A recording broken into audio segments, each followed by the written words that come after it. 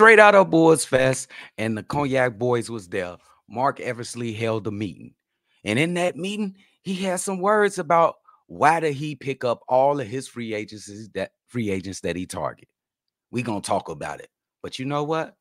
Y'all gotta hear the music first. Cognac. Gang.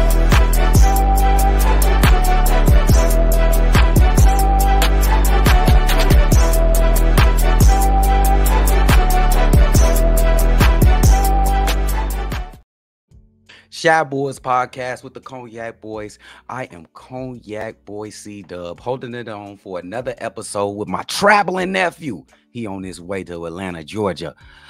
What's up, guys? Hey, we went to Bulls Fest yesterday and it was kind of lit. I ain't gonna lie. And Marc Eversley definitely had an interview. I was like 10, 15 feet away. And he talked about signing the signing of the three three main free agents we got on this team. Nick Vooch, Ayo Dosunmu, and Coby White. According to Marc Eversley at the Bulls Fest interview, which I was 15 feet away, said re-signing Vooch was tops on their list along with Ayo and Coby White.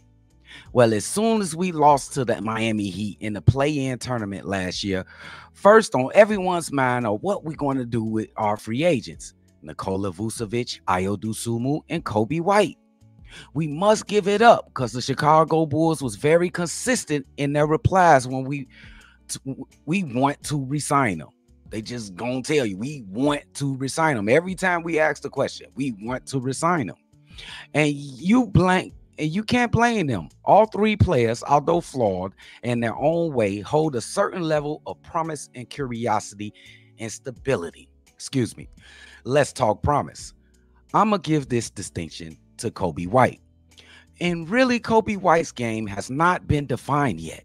And yes, that's a good thing.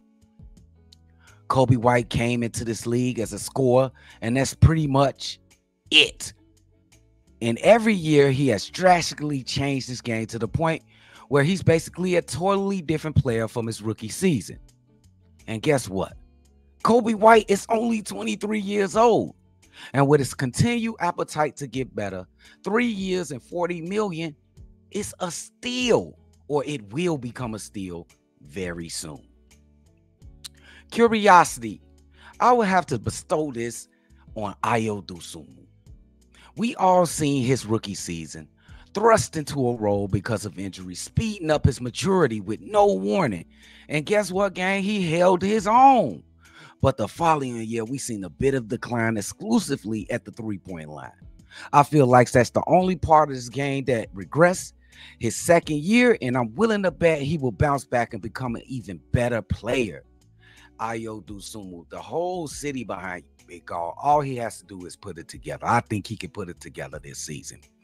And when it comes to stability, really quick, we will be associating that with Nick Vooch. I'll be honest, it's a mixed bag with Vooch.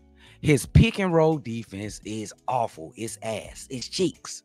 And at best, he can linger at the three-point line a bit too much. But what you're going to get from Nick Vooch is a daily is a daily base on a daily basis. You can pretty much count a 18 and 12 double double every game. And it's definitely a top 10 center in the game when it comes to offense.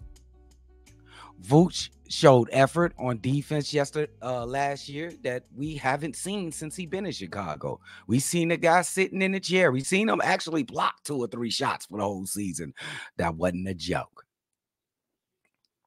It was refreshing to see from Nick Vooch from getting in a thing. So I think it was a good move. Where you going to find a better center than Vooch? You're not going to find a better center than Vooch. All the really good centers are locked up. So if you have one, you better keep them. And that's what the Chicago Bulls did. In conclusion, the Chicago Bulls actually get applause on this one. They kept the promise on a mission that they they actually completed a mission.